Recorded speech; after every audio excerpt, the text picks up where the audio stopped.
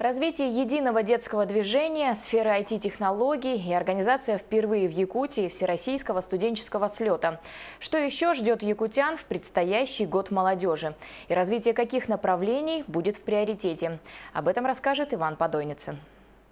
Министерство труда и социальной защиты Российской Федерации присудило победу в конкурсе лучших кадровых стратегий и практик деловой игре «Министр». Таков итог восьми лет проведения игр, уточняют в Министерстве по делам молодежи республики. В нашей номинации «Лучшая кадровая практика» были представлены 153 а, проекта от субъектов и муниципальных образований Российской Федерации. И по итогам отбора из 153 проектов игра «Министр» признана лучшей а, кадровой практикой в Российской Федерации.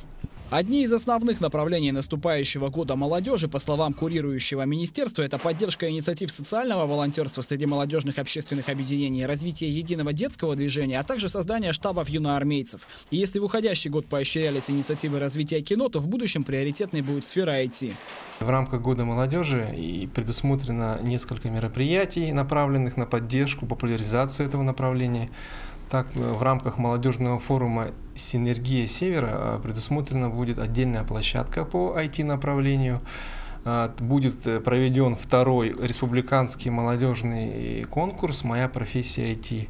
Как бы этих два ключевых мероприятия, они выполняют роль э, основную по популяризации самой профессии IT, да, вот, то есть профессии программистов, веб-дизайнеров, менеджеров по IT-управлению. Также немаловажен наступающий год будет и для студенческого движения, так как впервые в истории постсоветского пространства Всероссийский студенческий слет будет проходить в Республике Саха.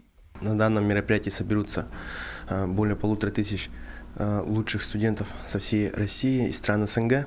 А, ну и, конечно же, это является самым большим итоговым мероприятием а, для движения студенческих отрядов России. Конечно, мы ставим перед собой амбициозные задачи в связи с тем, что год молодежи, надеюсь, все наши инициативы проявят себя полностью. Ну и, конечно, стоит задача об увеличении количества охваченной молодежи в два раза, чем в этом году. На таком знаковом для активных студентов мероприятии, по их словам, можно встретить кого угодно, и ветерана БАМа, и Байконура, так как масштаб не только всероссийский, но и всевозрастной.